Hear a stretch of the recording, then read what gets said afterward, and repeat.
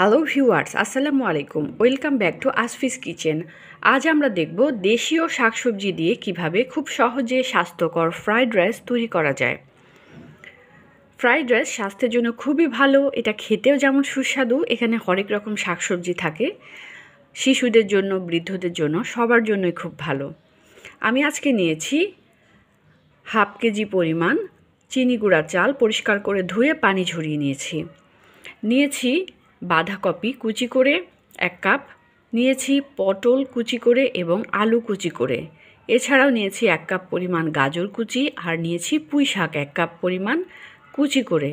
আর পেঁয়াজ নিয়েছি চার পাঁচটি, চার টুকরো করে ফালি করে স্লাইস করে নিয়েছি। মশলা হিসাবে নিয়েছি পেঁয়াজ কুচি আর রসুন বাটা এক চামচ নিয়েছি আদা বাটা হাফ চামচ, নিয়েছি চার পাঁচটি কাঁচামরিচ আর লবণ এক চামচ আর একটি ডিম আর সয়া সস এক চামচ। এই উপাদানগুলো দিয়ে খুব সহজে আমি তৈরি করে নিব দেশীয় সবজি দিয়ে চমৎকার ফ্রাইড রাইস। চুলায় একটি হাঁড়িতে আমি গরম পানিতে চালগুলো দিয়ে দিয়েছি।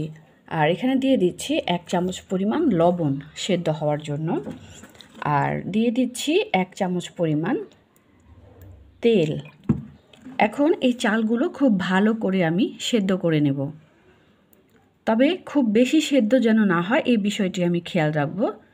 আধা সেদ্ধ হওয়ার পরেই আমি নামিয়ে ফেলব। আর তেল দেওয়ার কারণে ঝরঝরে হবে। এদিকে ভাত রান্না হয়ে গেছে। আমি পানি ঝরিয়ে এইভাবে একটি বড় চালনির সাহায্যে পানি যা যেন ঝরে যায়, এইভাবে আমি মেলে রেখেছি। আর বাতাসে এইভাবে আমি এক ঘণ্টার মতো ঠান্ডা হতে দেব। তাহলে ফ্রাইড রাইস ঝরঝরে হবে। খেতে বেশি ভালো লাগবে। এদিকে বড় একটি প্যান আমি নিয়েছি। নিয়ে এখানে নিয়েছি পেঁয়াজ কুচি। আর গরম করে এর মধ্যে দিয়ে দিচ্ছি তিন টেবিল চামচ পরিমাণ অয়েল।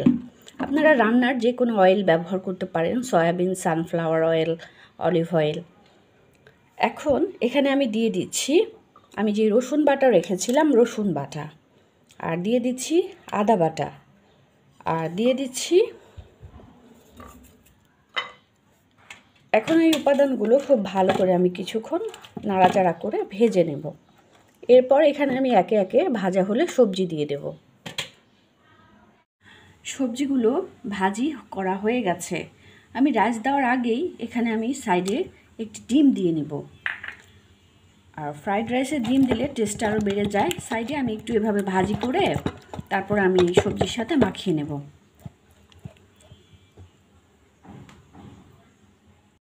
এখন আমি বাকি সব রাইসগুলো দিয়ে দিব। এখানে দিয়ে খুব ভালো করে আমি মিশিয়ে নেব ওই সবজির সঙ্গে। এভাবে নাড়াচাড়া করে মিশিয়ে আমি আরও ফাইভ মিনিট রান্না করে নিব। আর এখানে দিয়ে দিব, আমি যে সয়া সস রেখেছিলাম, এই সয়া সসটা লাস্ট মুহূর্তে। আর লবণ চেক করে নিব যে লবণ লাগবে কি না লবণ দরকার হলে আমি এখানে হাফ চামচ লবণ দিয়ে দিব লাস্ট মুহূর্তে।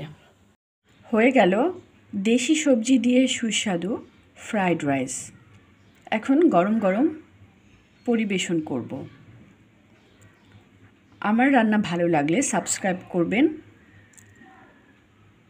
লাইক এবং শেয়ার করবেন। এতক্ষণ ধৈর্য ধরে আমার ভিডিওটি দেখার জন্য ধন্যবাদ।